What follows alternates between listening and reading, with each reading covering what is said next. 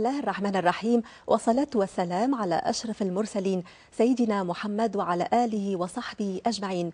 أحبة الكرام نحييكم من خلال برنامج حديث الجمعة. وموضوع حصة اليوم هو فقه الدعوة. ولأهمية هذا الموضوع أردنا اليوم أن نخصص الفضاء لمناقشته وربما نناقشه في حصص لاحقة بإذن الله إن لم يتسع لنا المجال الحديث بشأن النقاط التي تحوم حول هذا الموضوع. ولمناقشته اليوم استضفنا وبكل سعادة الأستاذ هشام الصدقاوي. هو باحث في مجال العلوم الإسلامية وإمام خطيب بالجامع الكبير بيت بربة أهلا بك سيدي. وبيك بارك الله فيك. أحبة الكرام ننطلق اليوم من خلال مقولة لمحمد الغزالي رحمه الله. يقول إن الوعظ أخف الواجبات التي يتطلبها الإسلام في عصرنا فقد تكون الكلمة الجارية داخل معهد أو مصنع أو ديوان أثقل في ميزان المؤمن من وعظ كثير. وألفت النظر إلى منع الجدل الديني داخل هذه التجمعات وقبول جميع المذاهب الفقهية المعروفة وتكريس الجهود والأوقات لرد العدوان على ديننا وإعادة بناء أمتنا على قواعدها الأولى. فإذا كان لابد من بحث علمي فليوكل كل ذلك إلى الأخصائيين وهم فيه أصحاب الرأي. إنني فيما بلوت رأيت الخلاف الفقهي يتحول إلى عناد شخصي ثم إلى عداء ماحق للدين والدنيا. فكيف إذا تصور البعض أن الأمر ليس خلافا في الفروع ولكنه خلاف في الأصول؟ المصيبة تكون أدهى وأمر. من خلال هذه المقولة ننطلق على بركة الله سيدي. والبداية تكون بالحديث عن فقه الدعوة. ماذا نقصد بفقه الدعوة؟ بسم الله والصلاة والسلام على رسول الله. صلى الله عليه وسلم. في الحقيقة اللهم صل وسلم وبارك عليه. في الحقيقة الحديث عن فقه الدعوة أو عن منهج الدعوة مرجع الكلام فيه دائما يكون كتاب الله سبحانه وتعالى لأنه هو كما وصفه النبي صلى الله عليه وسلم الله هذا الكتاب العزيز الحميد. هذا الكتاب قال عنه النبي صلى الله عليه وسلم بأنه فيه خبر من قبلنا ونبأ من بعدنا وحكم ما بيننا وهو الفصل ليس بالهزل. نعم. ففي كتاب الله نجد آية يقول فيها الحق سبحانه وتعالى. بعد أعوذ بالله من الشيطان الرجيم. بسم الله الرحمن الرحيم. لقد كان لكم في رسول الله إسوة حسنة لمن كان يرجو الله واليوم الآخر وذكر الله كثيرا. صدق الله العظيم. صدق الله العظيم. هذه الآية البديعة تؤصل لنا أصل معنى الاقتداء بالنبي صلى الله عليه وسلم وتفرض على الأمة اتباع النبي صلى الله عليه وسلم. نعم. لكن هل يمكن أن نتبع النبي صلى الله عليه وسلم؟ من غير أن نعرف النبي عليه الصلاة والسلام؟ من غير أن نقف على سيرته؟ من غير أن نتعرف على أخلاقه على حلمه على تواضعه على رحمته على على حكمته؟ النبي صلى الله عليه وسلم لا يمكن. فما لا يتم الواجب إلا به فهو واجب. نعم. إذا كان واجب الاقتداء بالنبي عليه الصلاة والسلام لا يتم إلا بواجب التعرف على سيرته نعم. فوجب علينا أن نقف على سيرة النبي صلى الله عليه وسلم واقتفاء منهجه في الدعوة واقتفاء منهجه في الدعوة لأن منهج الدعوة هو واحد جاء به النبي صلى, صلى الله, الله عليه وسلم, وسلم نعم. علمه ربه أدبه ربه فأحسن تأديبه ووضح له منهج الدعوة وجاءنا بمنهج عزيز فيه كل شروط النجاح متاع الدعوة علينا أن نقف على هذا المنهج البديع حتى نعلم لما ندعو وكيف ندعو وبما ندعو. نعم. هذا هو الأصل. نعم. حسنا سيدي الله سبحانه وتعالى يقول في كتابه العزيز ولتكن منكم أمة يدعون إلى الخير ويأمرون بالمعروف وينهون عن المنكر. هل يمكن سيدي أن ننطلق من هذه الآية للحديث عن حكم الدعوة؟ هل هي فرض كفاية أم فرض عين؟ هو لا شك في أن هذه الآية هي آية ربي سبحانه وتعالى أمر من خلالها أمر جميع أمر, أمر المؤمنين بأن تكون بأن تكون نعم بأن تكون فئة من المؤمنين أه؟ نعم. فئة من المؤمنين تنتصب للدعوة للأمر بالمعروف والنهي عن المنكر وأخذ منها علماء التفسير أن هذه الآية هي تدل على أن الدعوة إلى الله سبحانه وتعالى هي فرض كفاية إذا قام بها البعض كي نقولوا فرض كفاية بمعنى إذا قام بها البعض تسقط عن الآخرين. نعم. هذه الآية هي في الأصل قال, قال, قال, قال فيها الحق سبحانه وتعالى ولتكن منكم أمة يدعون إلى الخير. أي يجب أن يكون الأمر بالمعروف والنهي عن المنكر قائما في أمة محمد صلى الله عليه وسلم. فإذا ما انتفى هذا هذه الأمر بالمعروف والنهي عن المنكر انتفى في الأمة المحمدية سقطت الأمة كاملة. وظلت الأمة كاملة. نعم. هي الخيرية حتى الخيرية متاع الأمة. قائمة بالأمر قائمة على الأمر بالمعروف والنهي عن المنكر. لقوله تعالى كنتم خير أمة أخرجت للناس تأمرون بالمعروف وتنهون عن المنكر. العلماء عندما وضحوا حكم الدعوة قالوا بأن الدعوة تكون فرضا على الكفاية بالنسبة للعلماء الأمة الربانيين. هؤلاء العلماء إذا قاموا بالدعوة إلى الله سبحانه وتعالى سقطت عن الباقي. نعم. لكن في مجملها الدعوة إلى الله سبحانه وتعالى في معنى الدعوة إلى الله في معنى التواصي بالحق والتواصي بالصبر هذا يصبح فرض عين لقوله تعالى وتواصوا بالحق وتواصوا بالصبر حسنا أستاذ أنت قلت لدينا منهج واحد لاتباعه منهج الرسول صلى الله عليه وسلم الذي جاءنا بالرسالة المحمدية. إذا هذا المنهج اتبعه الرسول صلى الله عليه وسلم وعمل به. ونحن اليوم عندما نتحدث عن الدعوة لابد أن نطل على هذا المنهج حتى نتبعه ونعمل به ونحقق الهدف المنشود وهو أداء الأمانة. فما هي الشروط سيدي التي يجب أن تتوفر في الداعية حتى يؤدي واجبه أو يؤدي دوره على أحسن وجه ويحقق الفائدة من خلال الدعوة؟ آه، فعلا هذايا ما نجم نشوفوه ما نجم نبينوه إلا كي نشوفوا النبي صلى الله, صلى الله عليه وسلم. نعم. ننظر كيف كان النبي صلى الله عليه وسلم كيف دعا النبي صلى الله عليه وسلم في قومه. قبل أن ينتصب كداعي النبي عليه الصلاة والسلام بعبارة أخرى. صلى الله عليه وسلم. نبسطه للسادة المشاهدين. قبل أن يبعث النبي صلى الله عليه وسلم بهذه الرسالة العظيمة كيف كان خلقه النبي صلى الله عليه وسلم؟ وهذا يجرنا للحديث عن أول شرط يجب أن يتوفر في كل داعية. وهو؟ الاستقامة. نعم. النبي صلى الله عليه وسلم قبل أن يدعو إلى الله كيف كان خلقه؟ علاش قلت من بكل في أول الحديث نتاعي؟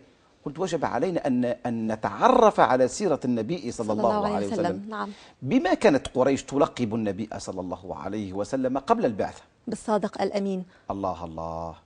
رأيت هذه نعم. هاتين الخلتين العظيمتين الصدق والأمانة. والأمانة. توفرت في النبي صلى الله عليه وسلم. توفرت فيه النبي عليه الصلاة والسلام خلتين عظيمتين. على أنه جميع الخصال النبي لم يتوفر عند النبي. أما عرف أكثر بالصدق والأمانة هذه هذه هذا درس عظيم درس جليل يعطيه النبي صلى الله عليه وسلم لكل داعية عليك عليك قبل أن تنتصب للدعوة إلى الله عليك أن تكون صادقا وامينا. علاش هالصفتين هذوما بالذات؟ علاش الصدق والأمانة دون دون سائر الصفات الأخرى؟ والخلال الحميدة الموجودة في النبي عليه الصلاة والسلام.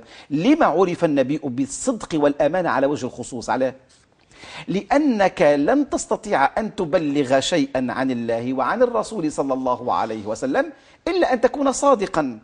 الصدق هو خلق أساسي للداعية. نعم. يجب أن يكون صادقا. لأنه لأنه لو عرف بالكذب لما صدقه الناس. لكي يصدقه الناس ويجب أن يكون هو صادق ساعة.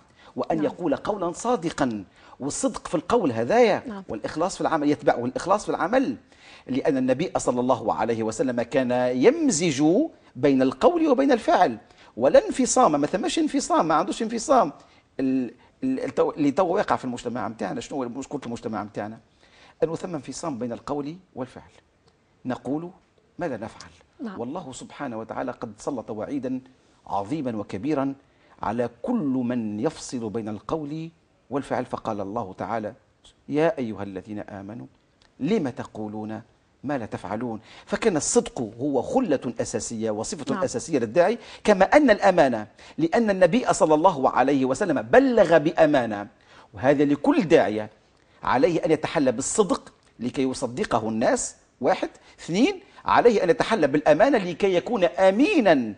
نعم. ووفيا وفاء كاملا أن يبلغ المعلومة والحديث عن الرسول صلى الله عليه وسلم بأمانة أنت ألا تنظر أن النبي صلى الله عليه وسلم صلى الله عليه عندما وسلم. أراد أن يعلم خباب ابن أرط دعاء النوم إيش قالوا؟ قالوا إذا أويت إلى فراشك فقل اللهم إني أسلمت وجهي إليك أو وجهت وجهي إليك وألجأت ظهري إليك وفوضت أمري إليك لا ملجأ منك إلا إليك آمنت بكتابك الذي أنزلت وبرسولك وبنبيك الذي أرسلت. نعم. فقالوا أعدها علي يا خباب.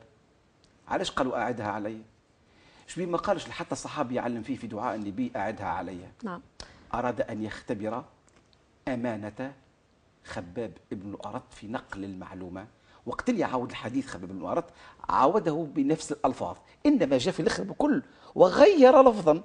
في بقعة اللي باش يقول وآمنت وبرسول وبنبيك الذي أرسلت قال خباب بن الأرط وبرسولك الذي أرسلت. قال له النبي صلى الله عليه وسلم وبنبيك الذي أرسلت. قل له خباب بن الأرض ما الفرق؟ أنا حبيت نرفع لك مقامك يا رسول. قالوا لا يعلم فيه النبي عليه الصلاة والسلام حين يبلغ أن يبلغ بأمانة. أستاذي آه، الله سبحانه وتعالى يقول في كتابه العزيز ولو كنت فظا غليظ القلب لانفضوا من حولك. هذه الآية كانت موجهة إلى الرسول صلى الله عليه وسلم وفيها دعوة إلى التزام بجملة من القيم حتى يؤدي الداعية دوره. هي اللين وحسن المعاملة والأسلوب السلس في في التبليغ.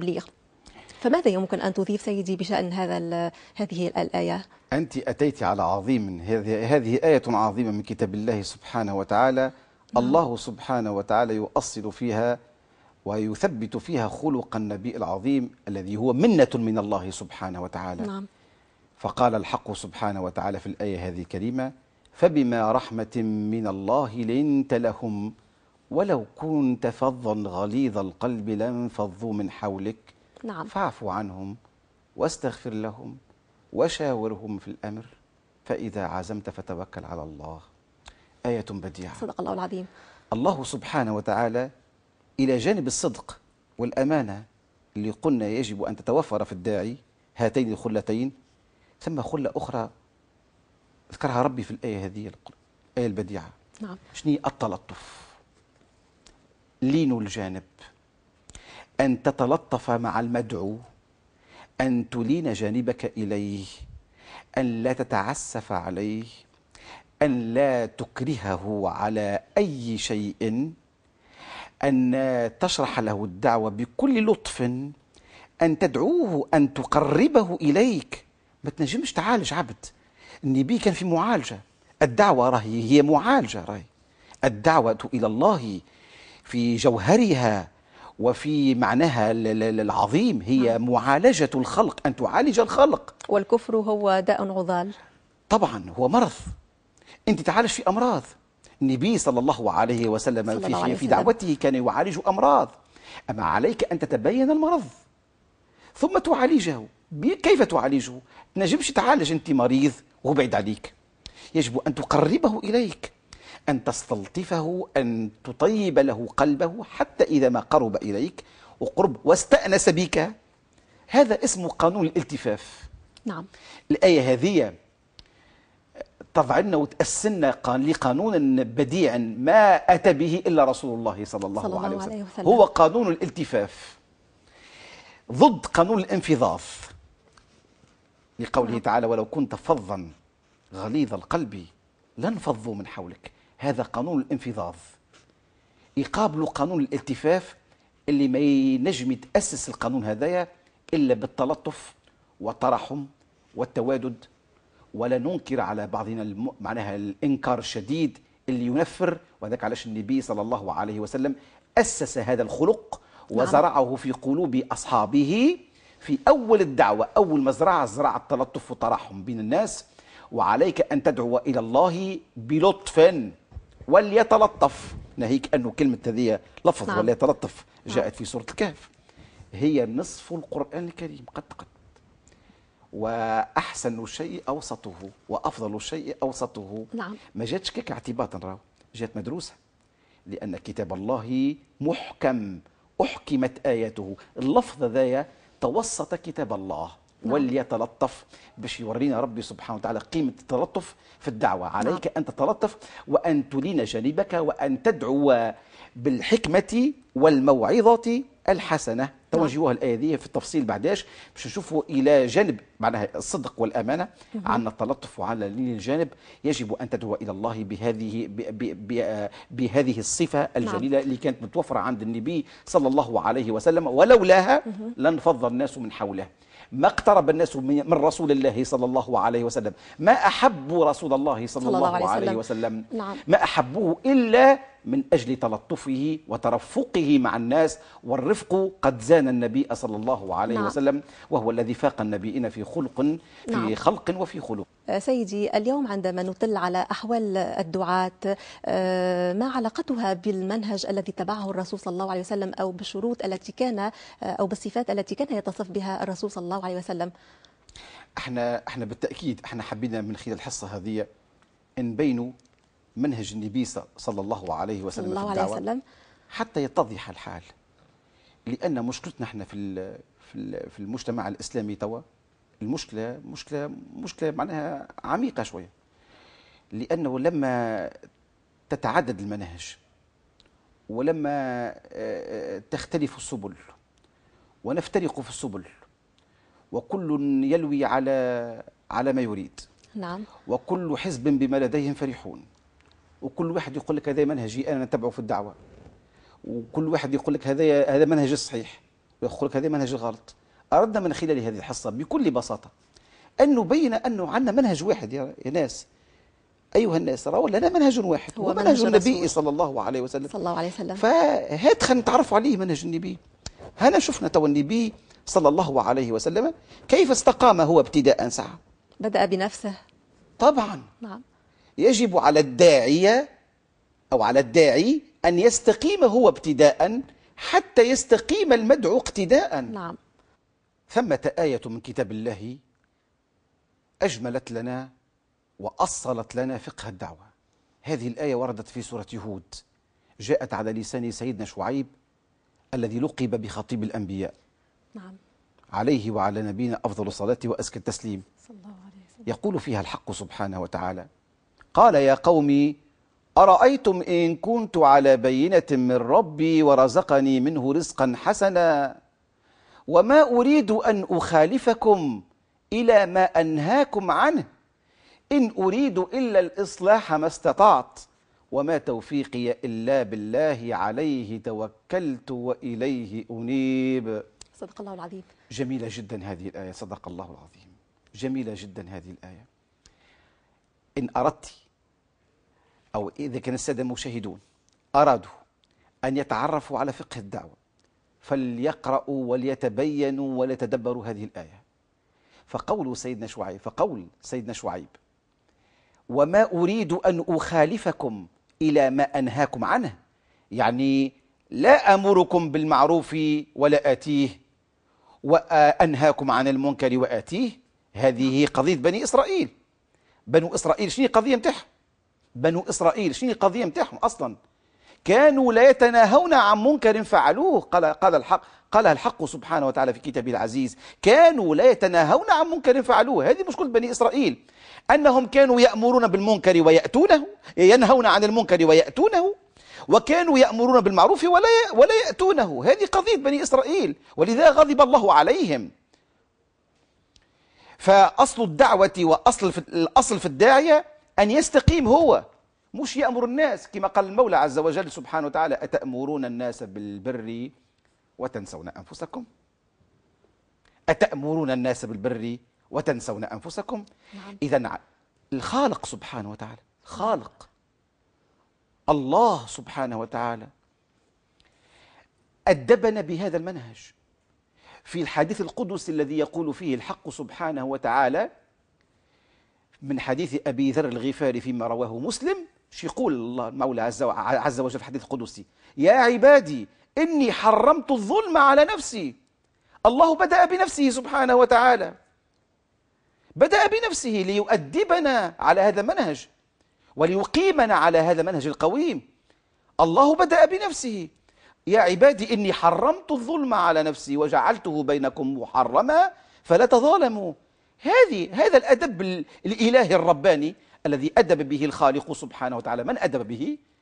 أدب به نبيه وصفيه من خلقه نعم. محمد بن عبد الله صلى الله عليه وسلم فأدبه ربه فأحسن تأديبه وأراد النبي أن يؤدبنا بأدب الله له فقال النبي صلى الله عليه وسلم في كتاب الله العزيز على لسان شعيب وما أريد أن أخالفكم إلى ما أنهاكم عنه. هذه الحاجة الأولى.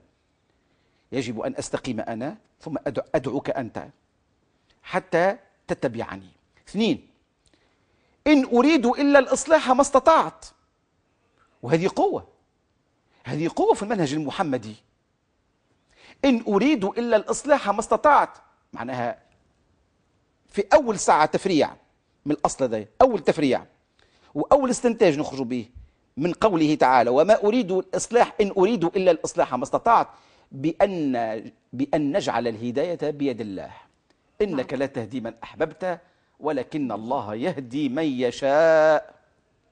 نعم. هذا التفريع الأول والاستنتاج العظيم الأول أنك مش بيدك الهداية. إن أريد إلا الإصلاح ما استطعت. ثم الترفق والتلطف بالناس. الاستطاعة تفيد التلطف والترفق بالناس بأنك لا تكره الناس. أفأنت تكره الناس حتى يكونوا مؤمنين؟ نعم. ربي سبحانه وتعالى قال قالها لحبيبه مخاطبا حبيبه محمد بن عبد الله صلى الله عليه وسلم. أفأنت تكره الناس حتى يكونوا مؤمنين؟ قال الله تعالى لا إكراه في الدين. هذا معنى إن أريد إلا الإصلاح ما استطعت. استنتاج آخر من قوله تعالى إن أريد إلا الإصلاح ما استطعت. وهي التدرج في الدعوة. هكذا نصلح الناس. هكذا نأخذ الناس بال...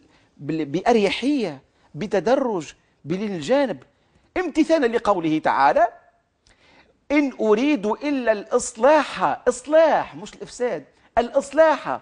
ما استطعت. إيه؟ وما توفيقي إلا بالله. الله نعم. الله.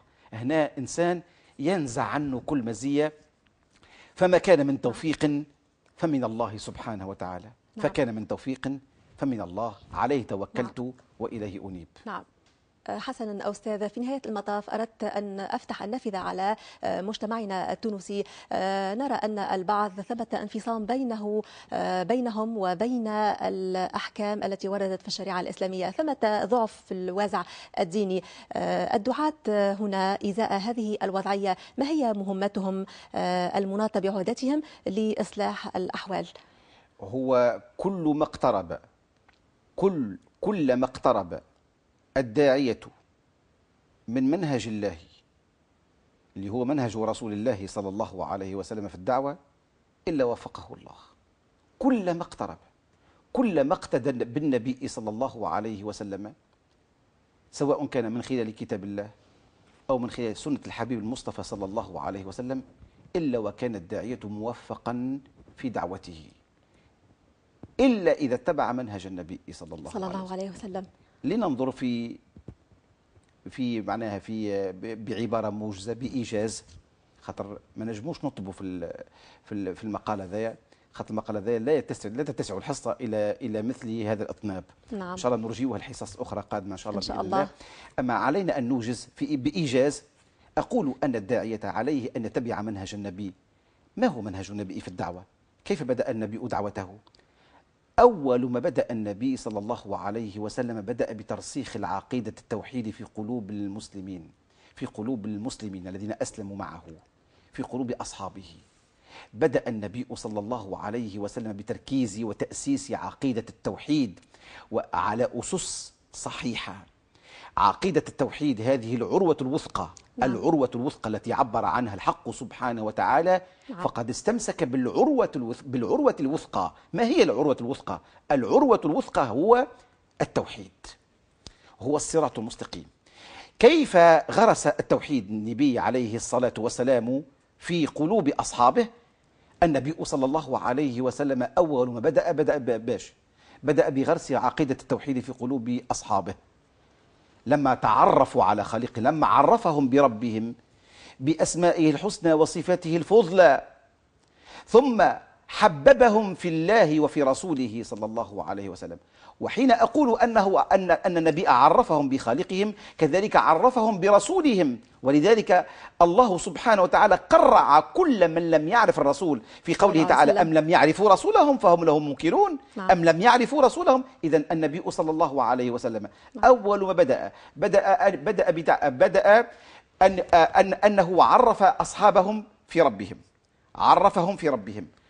ثم عرفهم برسوله. ثم حببهم في ربهم.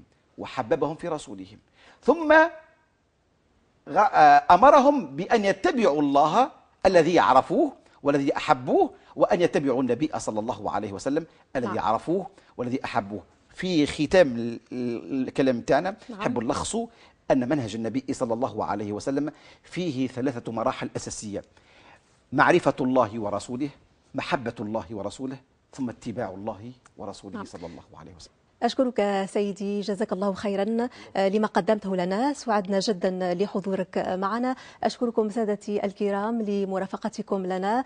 آه، نسأل الله أن يردنا إلى دينه ردا جميلا وأن يجعلنا من أهل الحق والدعوة والسماحة وأن يهدينا إلى سبيل الصلاح ونكون بذلك قد اتبعنا الرسول صلى الله عليه وسلم. جزاكم الله خيرا لمرافقتكم لنا. والسلام عليكم ورحمة الله تعالى وبركاته.